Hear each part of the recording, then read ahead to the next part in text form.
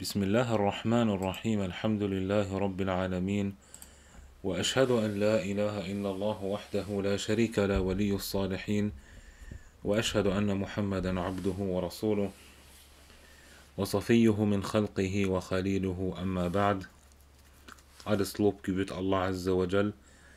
Und ich bezeuge, dass niemand mit Recht und Wahrheit angebetet werden darf, außer Allah. Und ich bezeuge, dass der Prophet Muhammad sallallahu alaihi wasallam sein letzter Gesandter ist und Diener ist. Möge Allah subhanahu wa ta'ala diese Sitzung zu einer segensreichen Sitzung machen und das, was wir hier an Nutzen ziehen, dass es als Beweis für uns ist am Tage der Auferstehung und kein Beweis gegen uns ist. Allahumma amin. Wir machen inshallah, wir haben in, letzter, in der letzten Woche Suratul, Surat, Suratul Quraysh beendet und ähm, passend dazu zusammenhängend ist Suratul Fil, was wir gleich, ähm, was wir gleich hören werden. Fangen wir mit der Lesung an. أعوذ بالله من الشيطان الرجيم بسم الله الرحمن الرحيم. ألم تر كيف فعل ربك بأصحاب الفيل؟ ألم يجعل كيدهم في تضليل؟ وأرسل عليهم طيرا أبابيل. ترميهم بحجارة من سجيل فجعلهم كعصف مأكول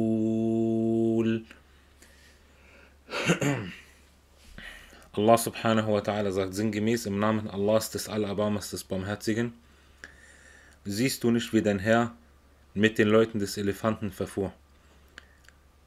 Ließ er nicht ihre List verloren gehen und sandte gegen sie Vögel in aufeinanderfolgenden Schwärmen, die sie mit Steinen aus gebranntem Lehm bewarfen und sie so wie abgefressene Halme machte.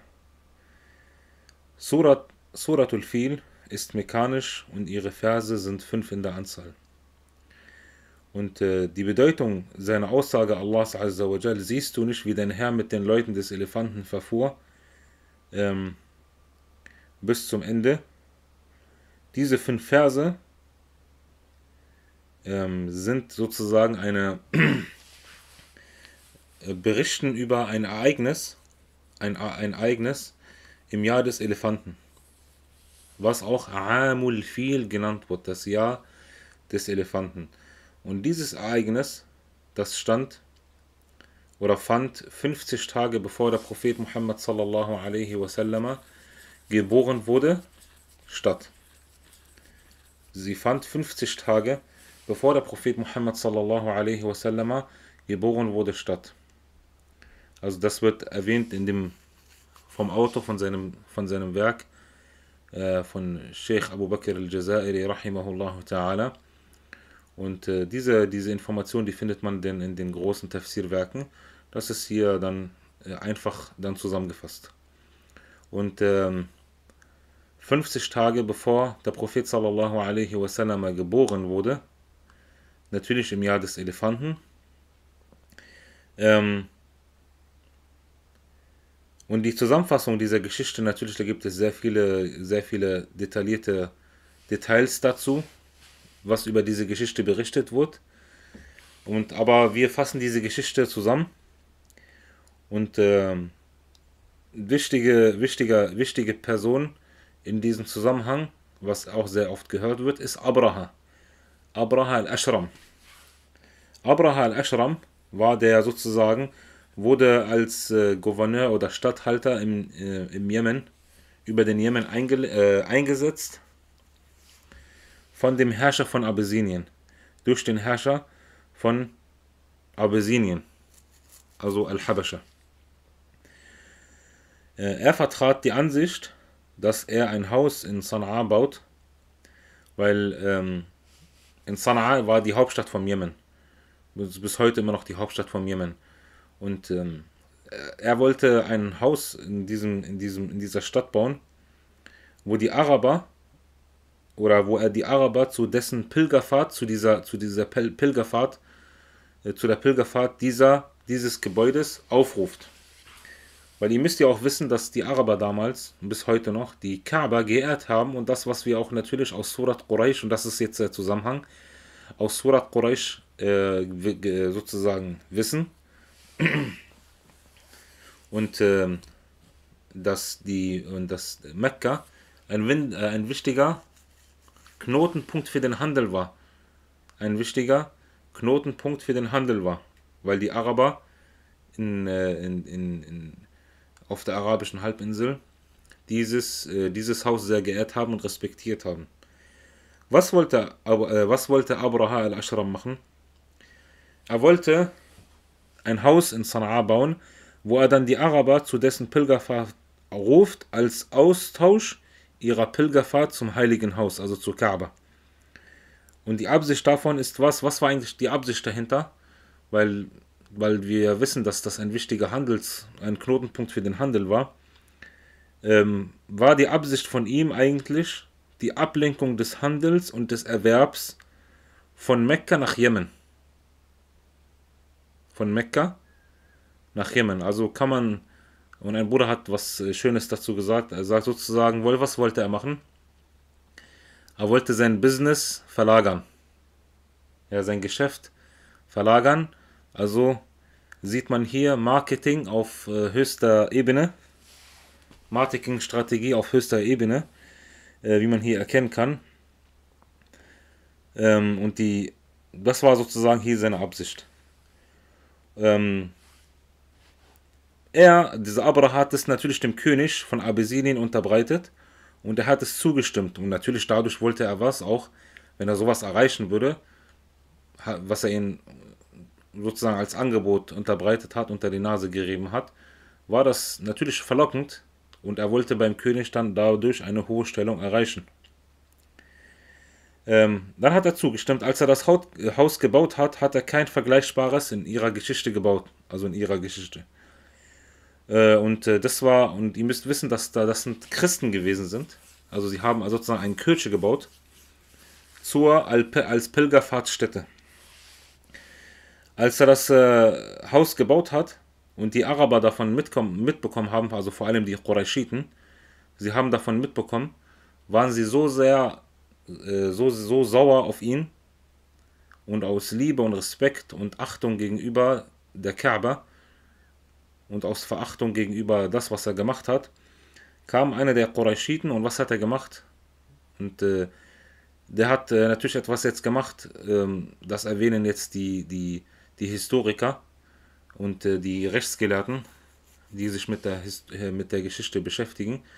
Ist jetzt kein Aufruf hier, das sowas zu machen, weil das nicht, natürlich nicht in Ordnung ist. Aber wir erwähnen das hier ähm, als, äh, ja, als sozusagen der Überbringung der Amana, ja, dem anvertrauten Gut, dass man, dass man das auch erwähnt, was da, was in diesen Büchern steht. Und zwar, was hat er gemacht? Aus Wut hat er dann seinen Stuhlgang dort verrichtet in der Kirche.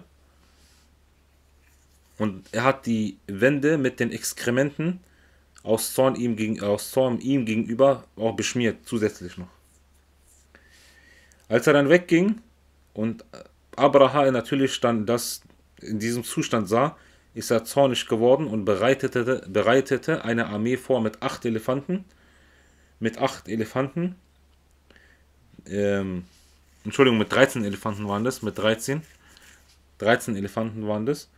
Und äh, der, der, der größte von ihnen, den haben sie Mahmud genannt. Den haben sie Mahmud genannt. Und ähm, unterwegs dahin, vom Jemen zu Kaaba, weil er was, er wollte jetzt die Kaaba zerstören.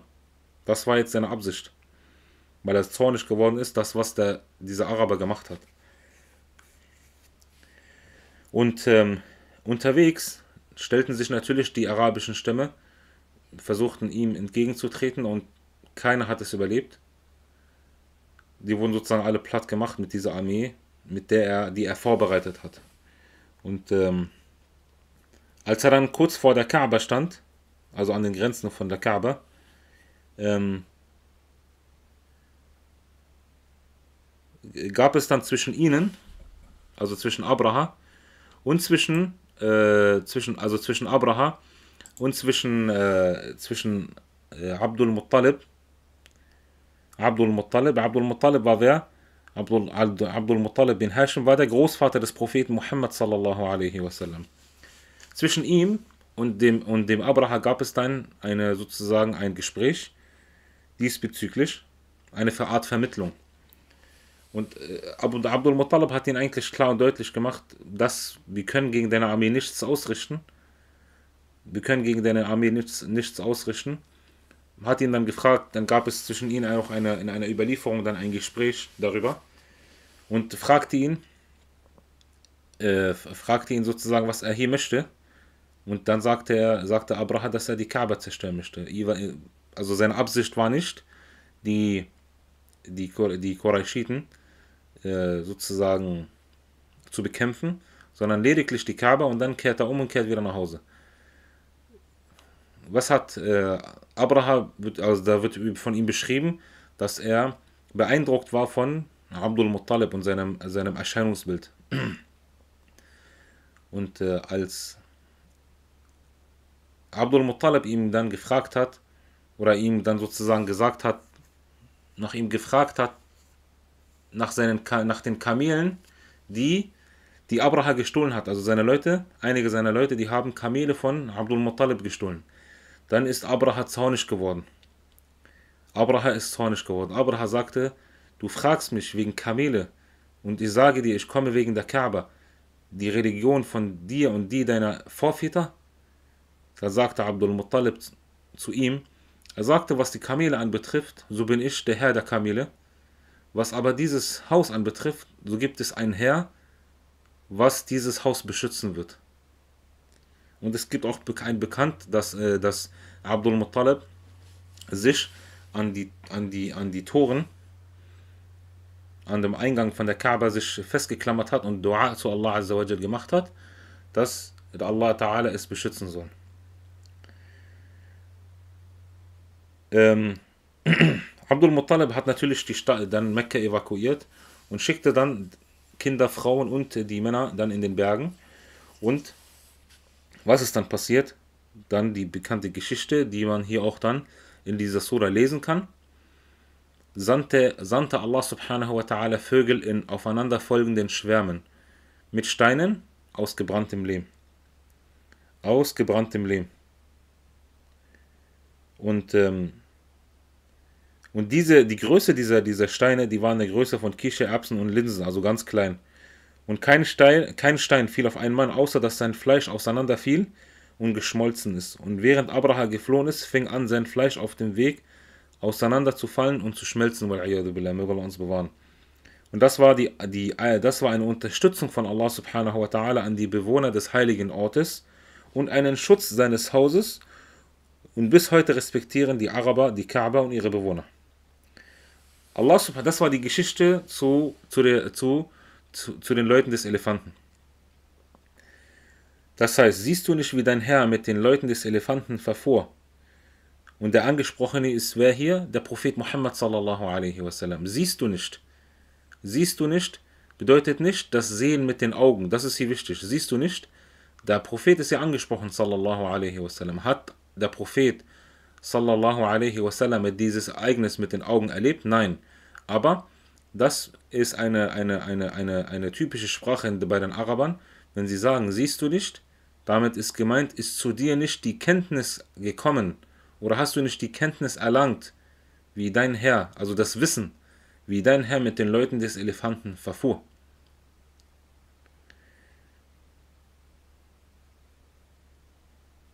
Und diese Siehst du nicht, wie dein Herr mit den Leuten des Elefanten verfuhr? Ist eine Erinnerung für ihn. Ist eine Erinnerung für ihn, für den Propheten Muhammad sallallahu alaihi wasallam, wie die Hochmütigen vernichtet, wie er, wie Allah subhanahu wa ta'ala die Hochmütigen vernichtet hat.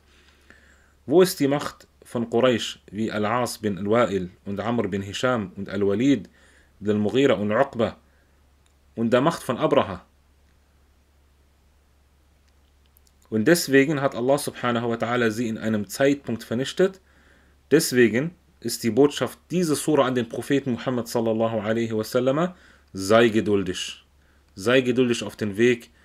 Sei geduldig diesbezüglich, was sie an Anfeindungen, an Anfeindungen und Bezichtigung sie dir gegenüber äh, äh, ausführen. Und trage wegen den Feinden keine Besorgnis, denn sie haben auch einen Zeitpunkt, wie Abraha, ähm, äh, also er als von den Leuten des Elefanten, auch einen Zeitpunkt hatten. So ist diese Sura ein Ausdruck der Erinnerung für die Ermahnung und der Betrachtung. Das heißt, diese Sura ist auch eine, eine Warnung an die Qurayshiten, wenn sie, äh, als sie diese, dieses gehört haben. Es ist eine Warnung für sie, weil Allah subhanahu wa ta'ala erinnert sie, wir haben doch damals eine Armee vernichtet, die stärker als ihr gewesen seid, o ihr Qurayshiten. Deswegen, warum seid ihr jetzt hochmütig, o ihr Qurayshiten? Warum bekämpft ihr den Propheten Muhammad sallallahu alaihi wasallam?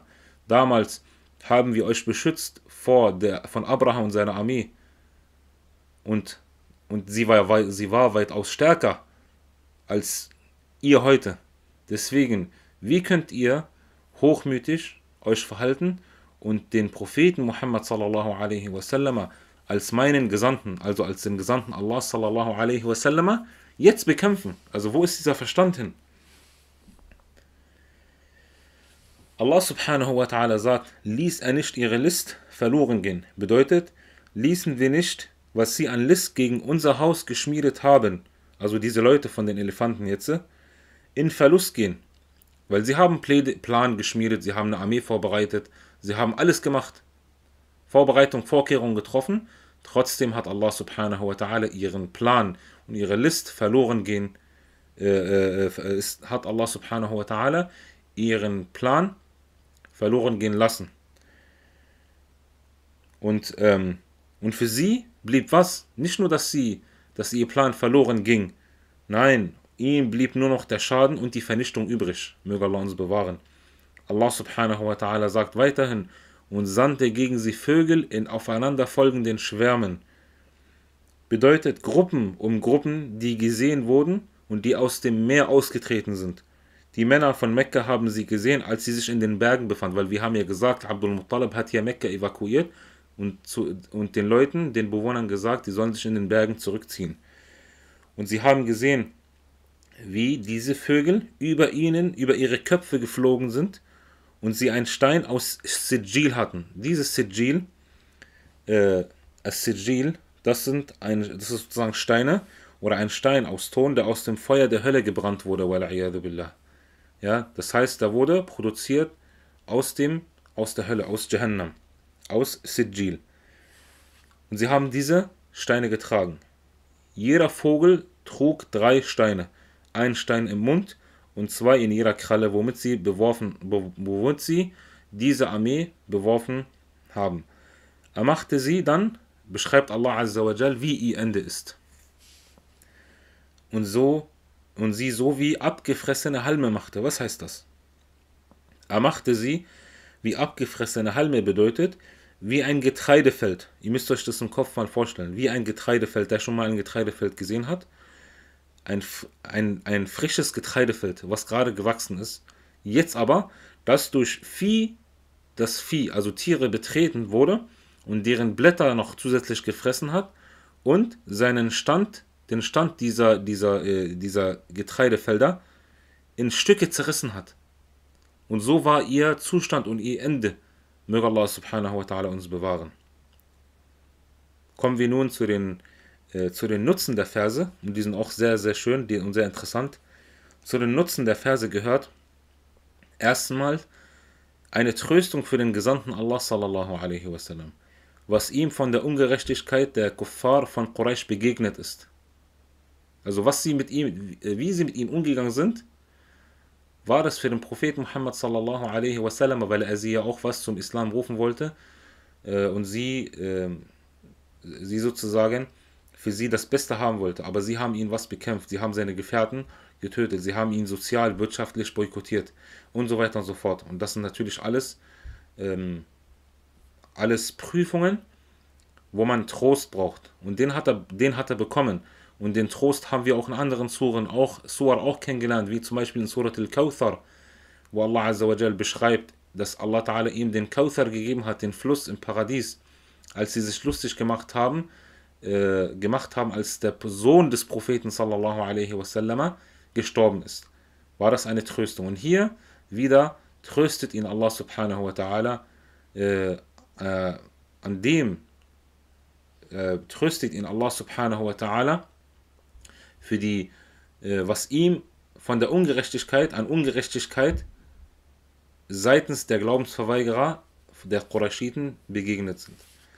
Zweitens die Erinnerung für Quraysh, auch für die Bewohner von Quraysh, was Allah Ta'ala getan hat mit den Leuten des Elefanten und sie waren weitaus stärker als Verängstigung und Einschüchterung, dass sie sich was, dass sie zur Besinnung kommen sollen und zu Allah subhanahu wa ta'ala zurückkehren.